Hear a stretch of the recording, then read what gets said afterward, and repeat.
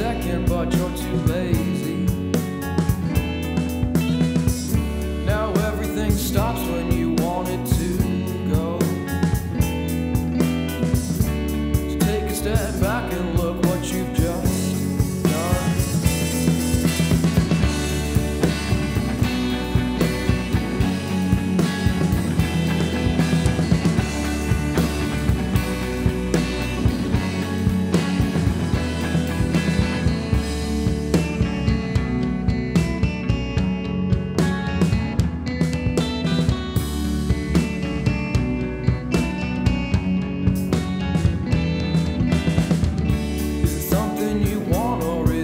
just a phase.